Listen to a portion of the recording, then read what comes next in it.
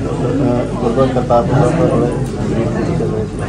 ਗੁਰੂ ਪਿਆਰੀ ਸਾਧ ਸੰਗਤ ਜੀ ਵਾਹਿਗੁਰੂ ਜੀ ਕਾ ਖਾਲਸਾ। ਵਾਹਿਗੁਰੂ ਜੀ ਕੀ ਫਤਿਹ। ਅੱਜ ਆਪ ਜੀ ਇਸ ਪਵਿੱਤਰ ਸਥਾਨ ਦੇ ਦਰਸ਼ਨਾਂ ਦੀਦਾਰਿਆਂ ਵਾਸਤੇ ਪਹੁੰਚੇ ਹੋ ਇਸ ਗੁਰੂ ਘਰ ਦਾ ਨਾਮ ਹੈ ਸੱਚਖੰਡ ਸ੍ਰੀ ਦਰਬਾਰ ਸਾਹਿਬ ਕਰਤਾਰਪੁਰ ਸਾਹਿਬ। ਇਤਿਹਾਸ ਅਨੁਸਾਰ ਪਹਿਲੀ ਪਾਤਸ਼ਾਹੀ ਸਾਹਿਬ ਸ਼੍ਰੀ ਗੁਰੂ ਨਾਨਕ ਦੇਵ ਜੀ ਮਹਾਰਾਜ 52 ਸਾਲ ਦਾ ਜੀਵਨ ਬਤੀਤ ਕਰਦਿਆਂ ਹੋਇਆਂ ਜਗਤ ਨੂੰ ਉਤਾਰਦਿਆਂ ਹੋਇਆਂ ਸੰਸਾਰ ਦੇ ਵਿਖੰਡ ਵਰਤਾਂਦਿਆਂ ਹੋਇਆਂ ਚਾਰੋਂ ਉਦਾਸੀਆਂ ਸਮਾਪਤ ਕਰਨ ਤੋਂ ਬਾਅਦ 1521 ਦੇ ਵਿੱਚ ਇਸ ਧਰਤੀ ਤੇ ਪਹੁੰਚਾਏ ਤੋਂ ਲਗਭਗ 500 ਸਾਲ ਪਹਿਲੇ।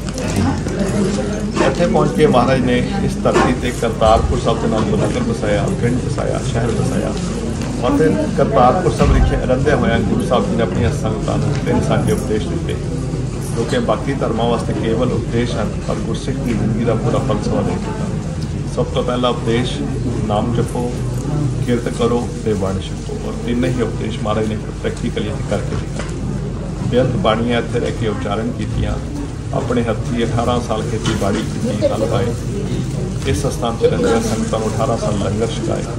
1532 ਦੇ ਵਿੱਚ ਦੂਸਰੀ ਪਾਤਸ਼ਾਹੀ ਪਾਈ ਲੈਣਾ ਜੀ ਸਾਹਿਬ ਸ਼੍ਰੀ ਅੰਗਦ ਦੇਵ ਜੀ ਮਹਾਰਾਜ ਨੇ ਪਹਿਲੀ ਦਫਾ ਦਰਸ਼ਨਾਂ ਵਾਸਤੇ ਇਸੇ ਸਥਾਨ ਤੇ 1532 ਤੋਂ 1539 ਸੱਤ ਸਾਲ ਗੁਰੂ ਸਾਹਿਬ ਜੀ ਨੇ ਭਾਈ ਲੈਣਾ ਜੀ ਕੋਲੋਂ ਪ੍ਰੀਖਿਆ ਲਈ। ਉਹਨਾਂ ਦੇ ਇਮਤਿਹਾਨ ਲਏ ਕਦੀ ਮੁਰਦਾ ਖਾਣ ਦਾ ਹੁਕਮ ਦਿੱਤਾ, ਕਦੀ ਬਹੁਤ ਦੀਆਂ ਰਾਤਾਂ ਦੇ ਵਿੱਚ ਗਏ ਰਾਵੀ ਦੇ ਕੰਢੇ ਦੀਵਾਰਾਂ ਬਣਾਉਣ ਦਾ ਹੁਕਮ ਦਿੱਤਾ, ਕਦੀ ਗੰਦ ਦੇ ਵਿੱਚ ਟੋਰਾ ਕੱਢਣ ਦਾ ਹੁਕਮ ਦਿੱਤਾ ਤੇ ਕਦੀ ਦਰਖਤ ਲਾ ਕੇ ਲੰਗਰ ਪ੍ਰਸ਼ਾਦ ਦੇ ਕੰਮ ਦਾ ਹੁਕਮ ਦਿੱਤਾ।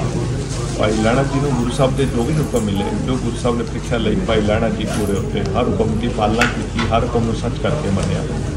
ਤਾਂ ਫਿਰ 18 ਸਤੰਬਰ 1547 7 ਸਾਲ ਦੀ ਪ੍ਰੀਖਿਆ ਤੋਂ ਬਾਅਦ 7 ਸਾਲਾਂ ਦੇ ਇਮਤਿਹਾਨਾਂ ਤੋਂ ਬਾਅਦ ਇਸੇ ਹੀ ਪਵਿੱਤਰ ਧਰਤੀ ਤੇ ਗੁਰੂ ਨਾਨਕ ਦੇਵ ਜੀ ਮਹਾਰਾਜ ਨੇ ਆਪਣੀ ਗੁਰਗੱਦੀ ਗੁਰਸਿੱਖੀ ਦੀ ਜੋਤ ਭਾਈ ਲੈਣਾ ਜੀ ਨੂੰ ਬਖਸ਼ ਕੇ ਭਾਈ ਲੈਣੇ ਤੋਂ ਸ੍ਰੀ ਗੁਰੂ ਅੰਗਦ ਦੇਵ ਜੀ ਮਹਾਰਾਜ ਜਿਸ ਸਥਾਨ ਤੇ ਬਣਾਇਆ, ਉਹਨਾਂ ਨੂੰ ਵਾਪਸ ਖਡੂਰ ਸਾਹਿਬ ਦੇ ਕਰਨ ਦਾ ਹੁਕਮ ਦਿੱਤਾ।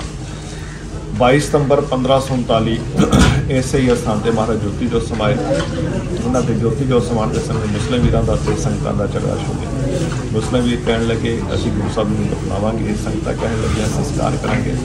ਗੁਰੂ ਪਿਆਰੀ ਸਾਧ ਸੰਗਤ ਇਸੇ ਹੀ ਗੱਲ ਤੇ ਝਗੜਾ ਚੱਲ ਰਿਹਾ ਸੀ ਤੇ ਗੁਰੂ ਸਾਹਿਬ ਨੂੰ ਦੇਖਣ ਵਾਸਤੇ ਫੈਸਲਾ ਲੈਣਾ ਸੀ, ਚਾਦਰ ਉਠਾਈ ਮਹਾਰਾਜ ਨੇ ਸਭ ਖੁੱਲ ਪਿਆ ਲੜਨ ਵਾਲੀਆਂ ਸੰਗਤਾਂ ਹੈਰਾਨ ਹੋਈਆਂ ਤਾਂ ਕੁਝ ਚਾਦਰ ਤੇ ਫੁੱਲਾਂ ਦੀ ਵੰਡ ਪਾਈ ਗਈ। ਜੋ ਮੁਸਲਿਮ ਵੀਰਾਂ ਨੂੰ ਮਿਲੇ, ਉਹਨਾਂ ਨੇ ਆਪਣੀ ਰੀਤੀ ਅਨੁਸਾਰ ਦਫਨਾ ਕੇ ਦਰਗਾਹ ਬਣਾ ਦਿੱਤੀ। ਜੋ ਸੰਗਤਾਂ ਨੂੰ ਮਿਲੇ, ਉਹਨਾਂ ਨੇ ਸੰਸਕਾਰ ਕਰਕੇ ਸਮਾਜ ਬਣਾ ਦਿੱਤਾ। ਸੋ ਦੋਨੋਂ ਸਹਾਬੀਆਂ ਥੱਲੇ ਦਰਸ਼ਨ ਕੀਤੇ ਹਨ। ਕਿ ਗੁਰੂ ਘਰ ਦੇ ਬਿਲਕੁਲ ਬਾਹਰ ਵਾਲੇ ਪਾਸੇ ਮਹਾਰਾਜ ਜੀ ਗੁਰਦਾਰ ਸਾਹਿਬ ਹੈ, ਦਰਗਾਹ ਹੈ।